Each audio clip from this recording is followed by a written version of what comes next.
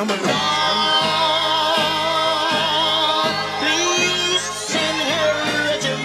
and gentlemen, this time around the revolution will not be televised.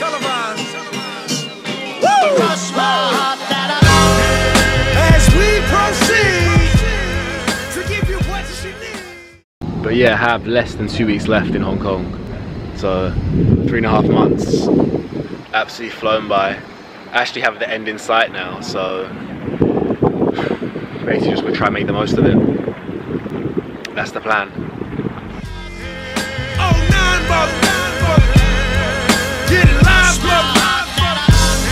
Ladies and gentlemen of the court.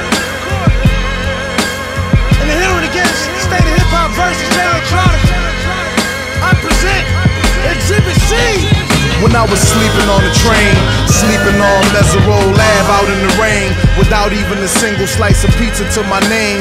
Too proud to beg for change, mastering the pain. When New York niggas was calling Southern rappers lame, but then Jack and I slang. I used to get dizzy spells, hear a little ring, the voice of an angel telling me my name.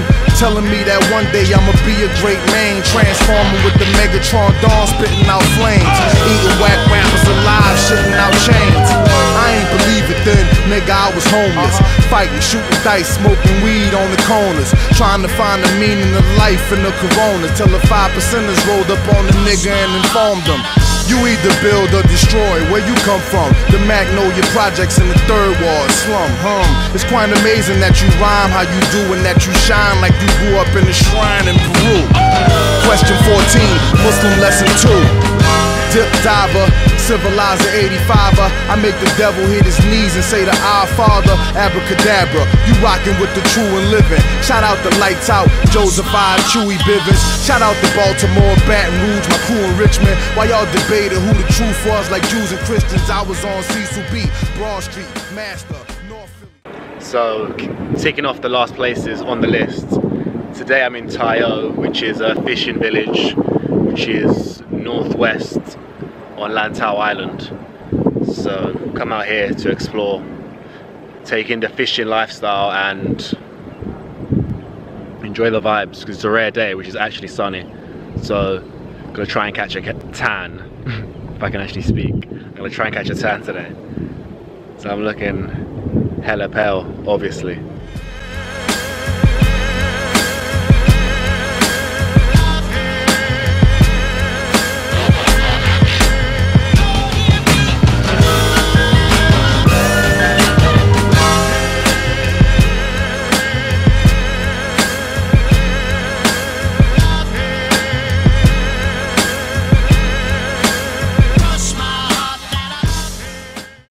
Amazing nature here in Hong Kong that a lot of people don't actually get a chance to see or don't know about.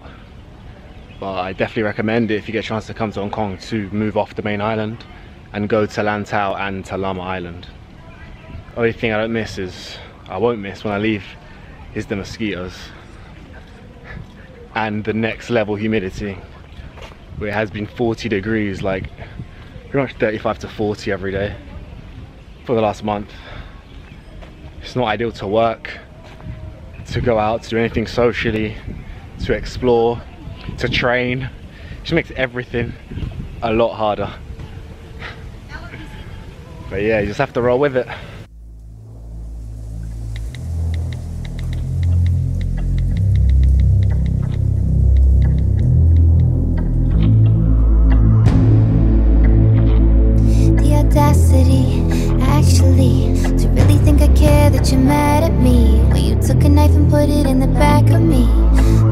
A Shakespeare tragedy. The alchemy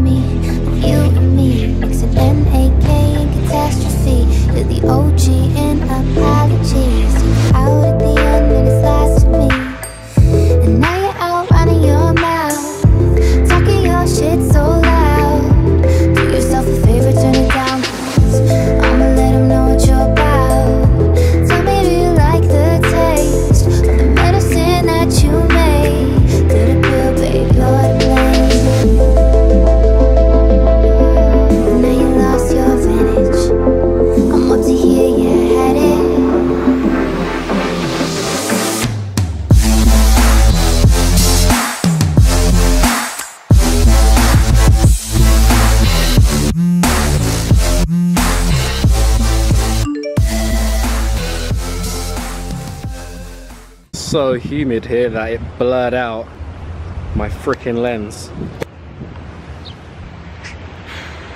Absolutely soaked. Had an 8,000 calorie refeed yesterday as well and I just feel like I sweated everything out. I'm just completely soaked. But the view here is just absolutely unreal.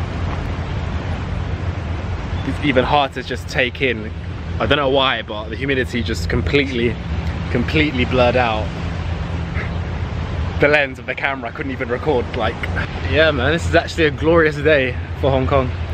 That the weather's like this. It's something that really doesn't happen much. It's been a lot, and I mean a lot of thunderstorms. But yeah, still trying to get over the fact that three months has passed this fast. It's absolutely crazy. But yeah man, wouldn't have it any other way. Looking forward to more traveling and more vibes. And last but not least, shout out to Hong Kong. It's been fucking real, man. I don't know how I've lived in this humidity. That's like the honest truth. the humidity here is fucked.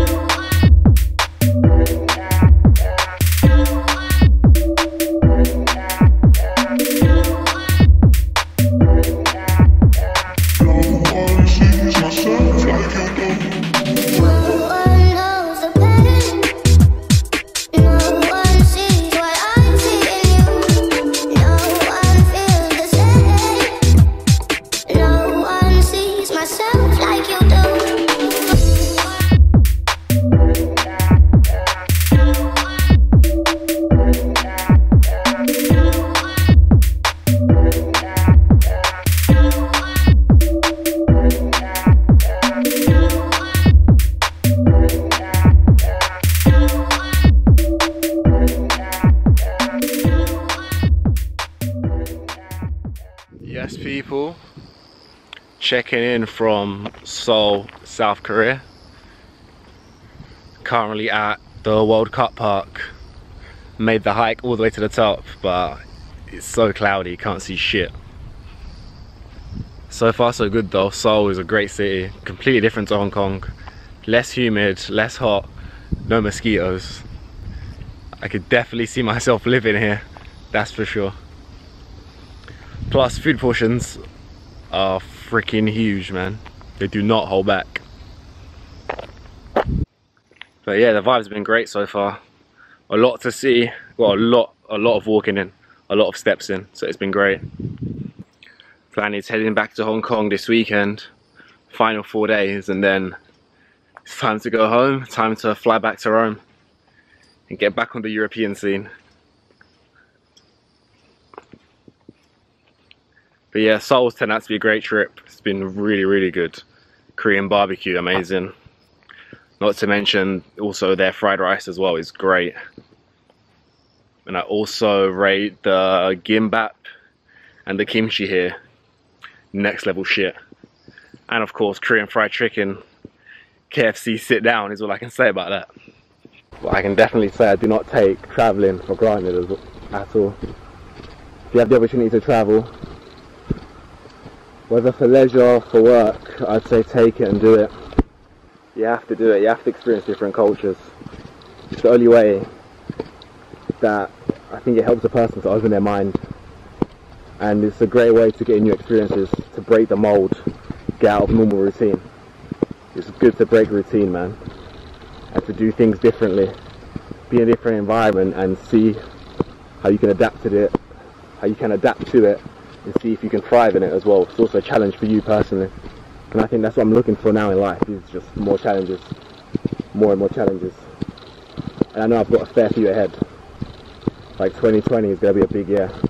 A very big year. But like I always say, I wouldn't have it any other way, man. That's exactly what I want, and it's exactly what I'm looking forward to. But yeah, this is Henry checking in from Seoul. Hope you've enjoyed the footage from all the Hong Kong vlogs, all three parts. And thanks again for the support. It's been real, man. And see you guys back in Europe. Peace out.